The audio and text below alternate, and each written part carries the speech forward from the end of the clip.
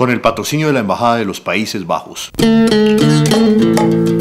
El programa para la democracia y los derechos humanos País Colombia, auspiciado por la Unión Europea y las organizaciones que lo conforman, presenta.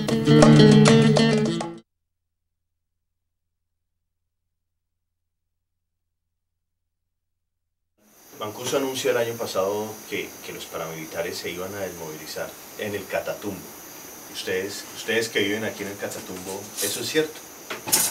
Pues mire, esto, ese, ese fue el anuncio y relativamente eso se dio, porque el dato fue de, de mil, 1523, si no estoy mal, desmovilizados. ¿En la zona no quedaron paramilitares o hay paramilitares en el Catatumbo? Pues todavía existen, Ajá. todavía existen el LOIC, porque después de eso pues han seguido accionando, han seguido montando retenes y, y poniendo obstáculos a la gente. ¿Cómo cruzar el mar sin mojarse? ¿Cómo hablar sin abrir la boca? ¿Cómo hacer negocios en otro país sin pasaporte? Sin estar ahí? ¿Cómo conquistar a una mujer con solo una tarjeta? Hoy tienes todo lo que necesitas para expresarte en un mismo lugar. ¿Qué esperas para hacerlo? Exprésate.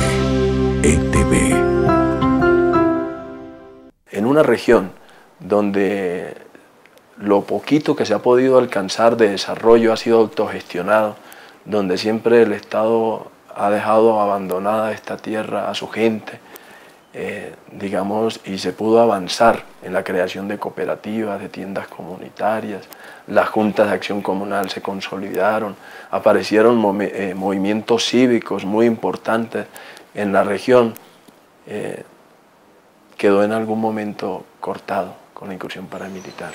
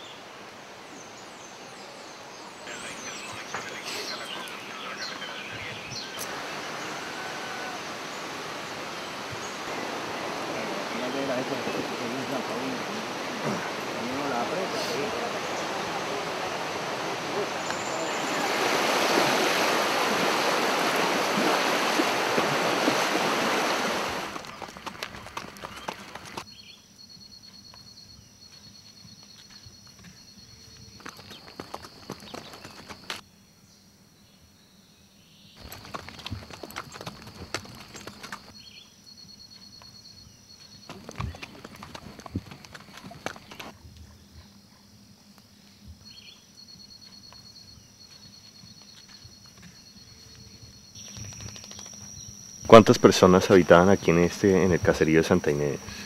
El día que aconteció, pues habían cinco vi- ah, personas viviendo acá. ¿Cinco personas? Sí, cinco, cinco familias. Cinco familias, es decir que más o menos 20, 30 personas. Sí, por ahí. 30 personas ya. ¿Y qué pasó con esas familias? Se fueron. Están desplazadas. Están desplazadas, sí.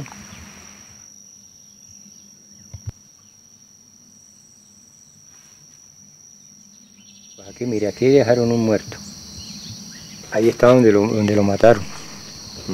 ¿Cómo? Ah, el que A mataron Dion aquí, ¿quién Ángel. fue? A Dion Ángel. Dion Ángel quedó ahí. Que lo mataron como. Pues según lo a, a palo y a piedra y lo, lo, lo migajaron la cabeza. ¿Y el otro dónde estaba? Acá. El otro quedó con la cabeza para allá. Estaba aquí. ¿Y el que estaba aquí, quién, quién era? Hermídez. ¿Cuántos años tenía?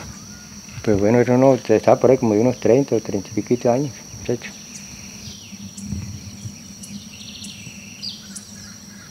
Aquí en el billar, ¿qué pasó? ¿Qué dicen? ¿Qué pasó? Pues según los comentarios que con la con las fichas esas del, del, del billar pues lo, lo, lo golpearon, lo mataron.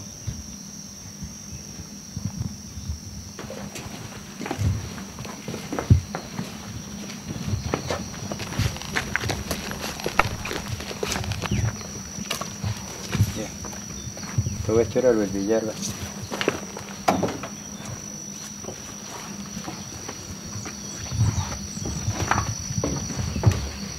Mire cómo dejaron la, la mesa.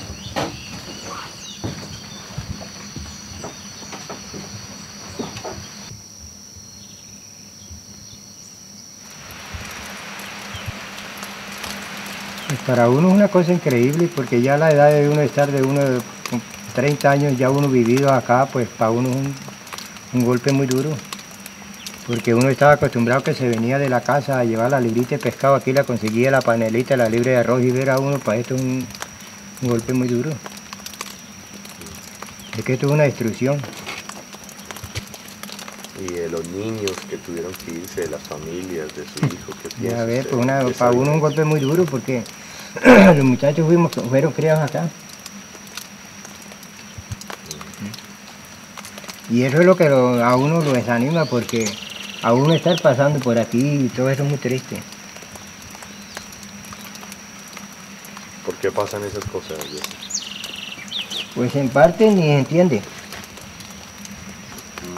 Ni se entiende porque uno mira que el gobierno dice que la justicia, que hay que hacer justicia y que hay que, la, lo que es, in- que no es legal, lo ilegal, pero en parte pues no se entiende qué será porque no lo hace. Porque él habla de la justicia y lo que tenemos es una injusticia, porque al, ver uno todas estas cosas es una injusticia. Mire los letreros, mire, hay cuotas de quién fue el que hizo las cosas y, y perder uno todo el trabajo, perder la fuerza, mire, todo, el puesto de salud, todo.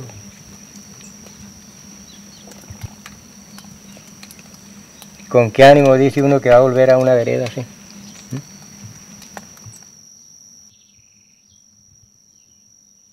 Los desplazamientos no pueden ser cuantificados en la medida que el gobierno lo pretende, que toda la gente salga a declarar su condición de desplazado, porque algunos para proteger la vida tenemos que irnos al interior de las montañas, adentrarnos en lo espeso de la selva, a buscar la protección de los amigos, a buscar la protección de las comunidades indígenas, como en este caso.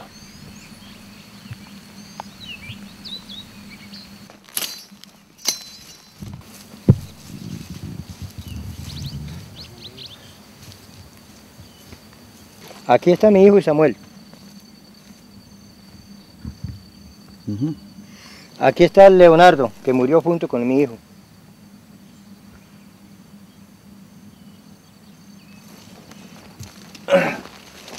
Aquí está Hermídez, el hijo de este señor que está acá. Claro que era ya 24 y eso, pues había gentecita por ahí, un parecito. Y el hijo mío y mi persona, nos fuimos para arriba a las 10 de la noche. Y entonces, estando ya en la casa, al otro día llegaron ellos por ahí como, más o menos como a las 8 de la mañana. Como a las 8 de la mañana llegaron. Y entonces yo me ido de mañanita para buscar un macho que, que tenía en, otra potrero de más allá. Entonces yo me mañané y me fui a buscar el macho. Y cuando llegué, entonces ya han agarrado el muchacho y se lo han traído. Y la mamá le dijo que porque lo llevaban, que él no era ningún guerrillero ni que él debía nada.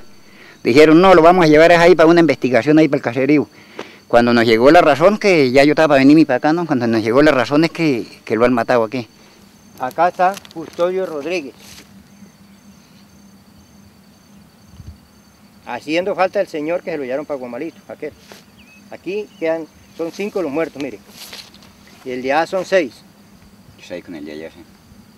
La pajita. ¿Hasta cuándo una cosa de estas? Pero de aquí a nada vuelven y matan otro par aquí inocentes y díganme, ¿y a dónde vamos a parar con esto? Lo que, lo que hay que pensar fue que quedaron como unos 15 huerfanitos. Y hasta donde esa pobre madre de familia luchando. ¿Cuántos, cuántos huérfanos? Como unos 15 quedaron por todo, porque el, el papá a Armía le quedaron cinco o cuatro. Cuatro, pegotitos. Cuatro. A Leonardo, seis. El de la casa, siete. El de allá donde custodio, ocho. Afuera de los muchachitos del otro muerto.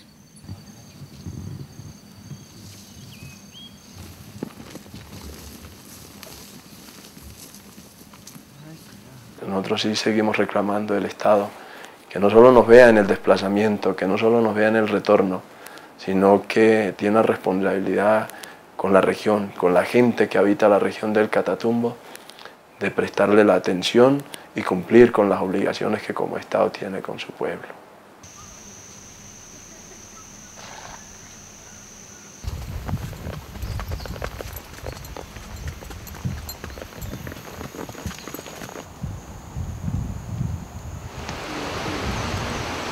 Estamos pensando de hacer un desplazamiento masivo.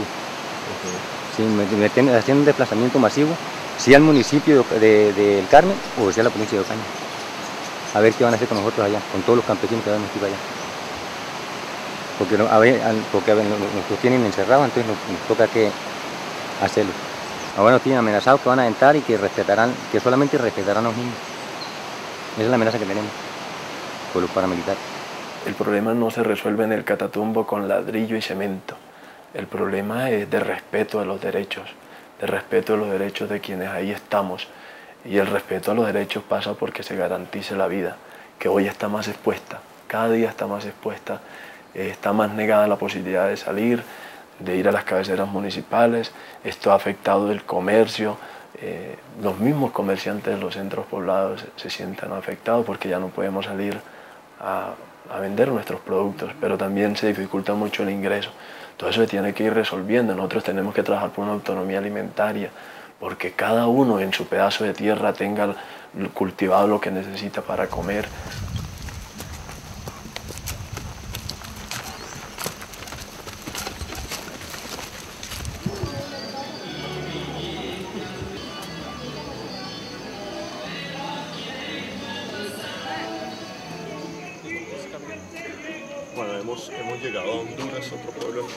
después de siete horas.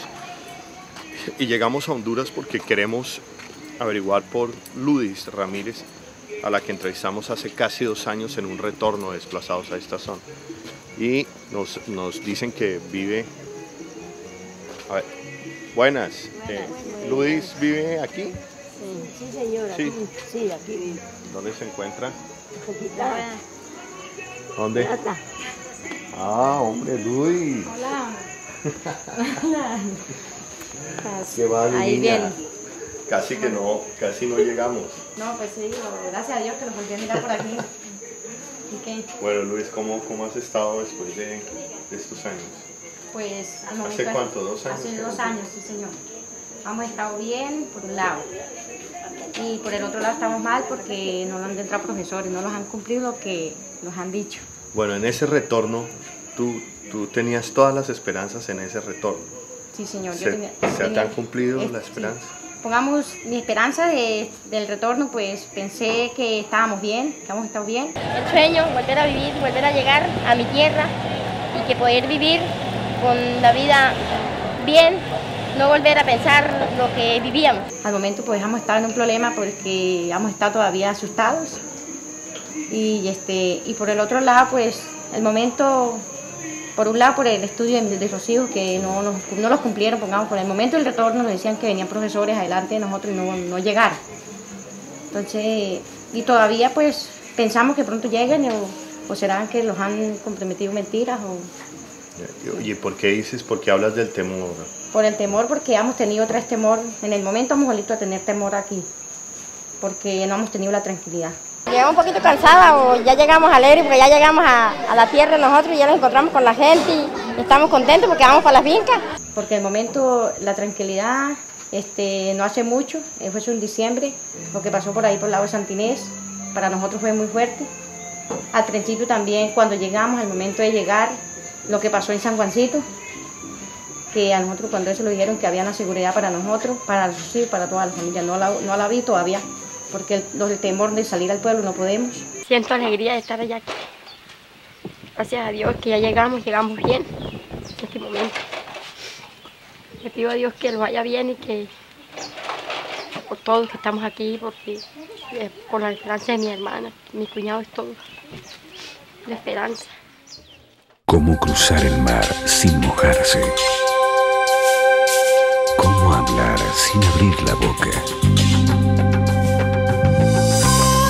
cómo hacer negocios en otro país sin pasaporte.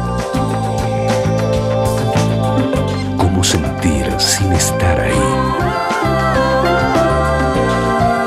Cómo conquistar a una mujer con solo una tarjeta. Hoy tienes todo lo que necesitas para expresarte en un mismo lugar. ¿Qué esperas para hacerlo?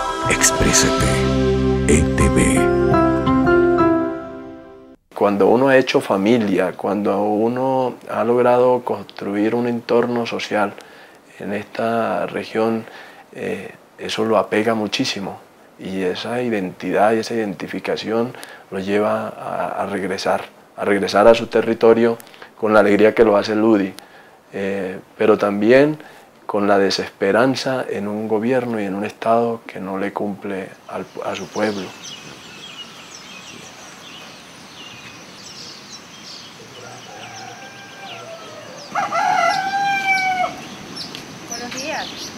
¿Cómo lo?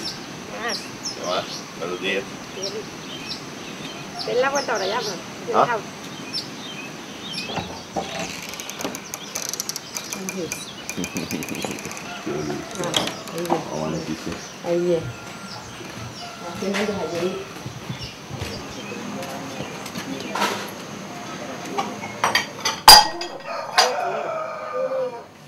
Lo del retorno nos dijeron que nos viniéramos con una seguridad muy grande, que no íbamos a volver a encontrar más nada, que íbamos a tener el momento, lo, lo primero los profesores en, en el sitio, que venían, venían profesores para adultos como para niños, venía generalmente los profesores. Venía, este, iba a estar un médico pendientemente, iba, bueno, estaba, íbamos a tener muchas, muchas cosas. Al momento no las han en eso no los no los han cumplido nadita. No podemos nosotros estar hoy pensando en que la necesidad es la construcción de una escuela o el nombramiento de un profesor, cuando el mismo gobierno, desde la alcaldía municipal, limita la presencia de un profesor o niega el enviar un profesor a cumplir con la misión de enseñar a los niños solamente porque estamos en la región del Catatumbo, porque somos eh, una zona que ha venido estigmatizando el mismo gobierno. Allá estamos los que queremos y no tenemos otra posibilidad, no hemos tenido otra posibilidad que trabajar en el campo.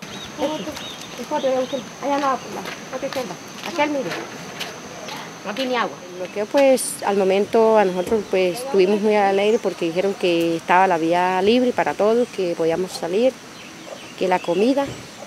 Al momento, la primera vez pues hubo el problema del chofer, que, lo, que eso fue el que, el que, el que mataron. Y entonces bueno, ya hicieron la recogida de, de esta gente, la recogieron y los paramilitares. Bueno, y entonces ya dijeron que sí, que estaba la vía libre. Al momento no está la vía libre. Porque el día que nosotros veníamos de, de afuera, estaban allá pidiendo la vacuna. Entonces, lo único que ellos dicen que ellos están esperando, que ellos dicen que ellos vuelven al, sitio porque el gobierno no les cumplió lo que, lo que ellos le prometieron. Yo, 74 años para acá, se ha vivido la guerra como del, como del 2000 casi para acá, que habíamos sufrido más. Porque los otros años vimos vivido en las fincas, trabajando, adelantando, criando la familia. Yo crié la familia solita, esas cinco hijas las crié solita, sufrimiento, con trabajos. y Ahí íbamos pasando la vida. Pero ya después de la guerra sí habíamos sufrido más porque todo se acabó.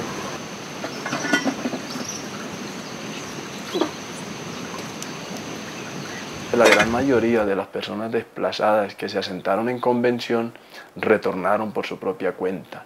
Fueron entrando cada uno a su finca en medio de la angustia, pero también en medio de la, de la desesperanza que producía y el miedo de regresar a una región que aún hoy continúa en confrontación pero que también muchos de los habitantes del Catatumbo no tuvieron la posibilidad de desplazarse a las cabeceras municipales y se internaron en los montes, se fueron a vivir con la comunidad indígena barí que le abrió la posibilidad de su territorio para proteger su vida. De alguna manera entonces hay que reconocer el apego al territorio que tienen los habitantes del Catatumbo.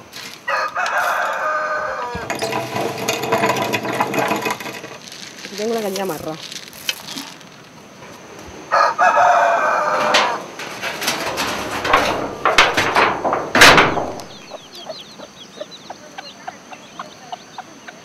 Una vez la gente que había salido desplazada regresó al territorio, eh, los que estábamos en, en la región, y nos juntamos un día y dijimos, vamos a pensar si todo está perdido, todavía hay posibilidades de que podamos seguir viviendo en el Catatumbo.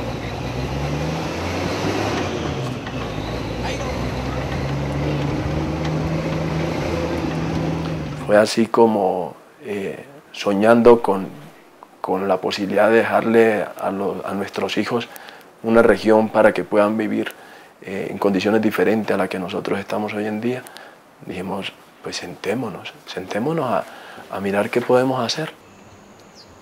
Y nos propusimos un encuentro, un encuentro de las comunidades para soñar, pero un encuentro también para, para mirar la realidad que estábamos viviendo.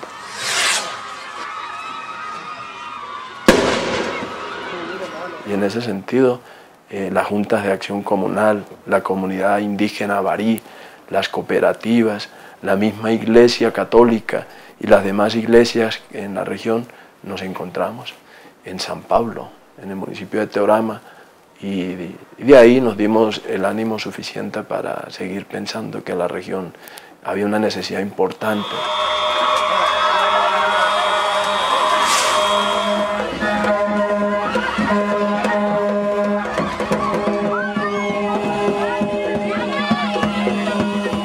Sea una sola pensándose en el futuro. Eh, con estas realidades de megaproyectos, con la realidad de la explotación de los recursos, con la realidad de una agudización cada vez mayor del conflicto armado que se vive en la región, pero también con una agudización del conflicto social, porque el gobierno nos deja solos, porque el gobierno no invierte en la región. El gobierno ha tildado el Catatumbo como una región cocalera y como escenario de guerra a nivel nacional e internacional. El bloqueo no es solamente económico, sino también político, porque no se permite la movilidad de los líderes de la región a riesgo de poner en peligro la vida. Se evidencia con mayor rigor el incremento del conflicto social en la zona pésimas condiciones de salud, alimentación, educación, vivienda y, en fin, la calidad de vida de sus habitantes. Necesitamos fomentar el estudio agropecuario tecnológico por medio de escuelas y colegios. Lo que sí nos oponemos es a que los erradiquen de la forma que lo está haciendo el gobierno, a través de las fumigaciones.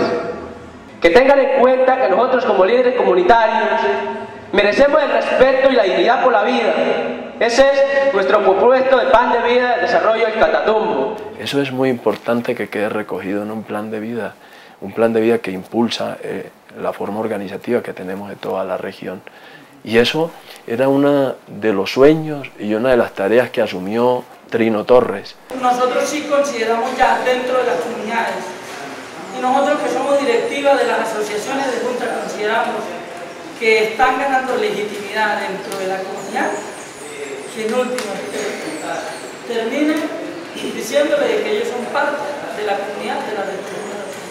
Trino Torres es un, un dirigente que siempre va a estar con nosotros, que soñó con un catatumbo eh, diferente, que soñó con, eh, digamos, con unas posibilidades de poder levantar a sus dos niños en, otras condiciones y que fue desplazado, que se mantuvo, es decir, que, que pasó por todas las dificultades que allá se viven, eh, que vivió para servirle a los demás, que su vida eh, transcurrió haciendo gestión entre su actividad en la huerta, en su comunidad, trabajando en la Junta de Acción Comunal, pero yendo a, a buscar en la alcaldía municipal la ayuda para las comunidades, no para él. Hoy no podemos, tan siquiera ustedes mismos se dieron cuenta ahorita, salir después de las 7 de la noche a, la biblioteca o al que le guste ir a la, a la panadería y ir a tomarse un poco, eso no se puede hacer, porque las condiciones no nos las permiten, pero en medio de eso nosotros tenemos que construir lo que queremos construir. Trino se fue de esta tierra, pero él, en cada reunión de nosotros está eh, el hombre lleno de virtudes, el hombre que tuvo todos los valores y que nos lo fue transmitiendo y a quienes eh, estuvimos eh, al lado de él, a quienes pudimos compartir con él su sabiduría, para nosotros ha sido muy importante todo el legado, toda la historia, la forma de ser, el comportarse en la humildad, el trabajar por la comunidad de Trino Torres. Viniendo del acerrío para acá le apareció un hombre en el camino y le quitó la vida. Ese niño fue honesto hasta el día 26 de julio del 2005 y ese niño se llamó José Trinidad Torres Muñoz y aquí está presente dándole sepultura a ese niño. ¿Cómo poder olvidar la gallardía y coraje de un compañero trino cuando junto con su compañera del alma, Marina Rueda y sus dos pegoticos, coordinaron y de qué manera la resistencia comunitaria frente a la incursión paramilitar y estatal en estas tierras.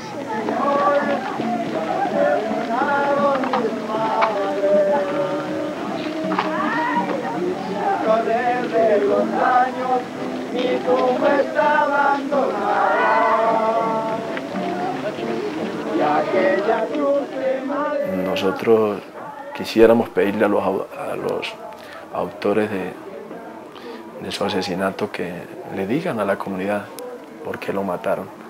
Si el único mal que estaba haciendo Trino era eh, impulsando a que la comunidad se plantee las posibilidades de permanecer en el territorio.